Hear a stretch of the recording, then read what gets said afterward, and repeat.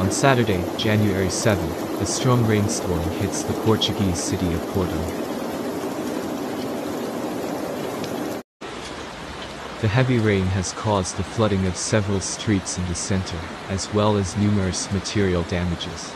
According to the local media, the heavy rains have fallen in a short period of time and have flooded the entire city of Porto, with greater intensity in the center, through Mouzinho da Silveira Street.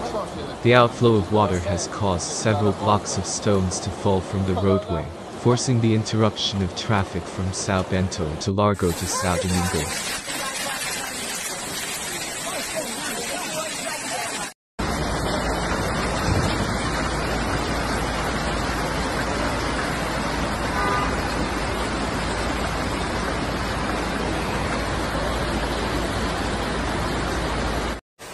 This area has been particularly damaged by being flooded with mud, gravel and sand, from the nearby works being carried out for the expansion of the city's subway.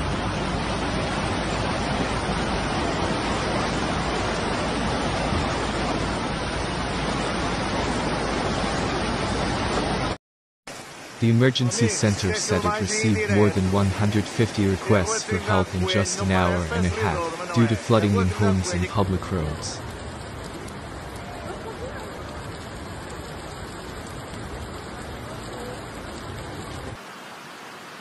The Civil Protection recommends that the population clear the drainage systems for rainwater and remove aggregates and other objects that can be dragged.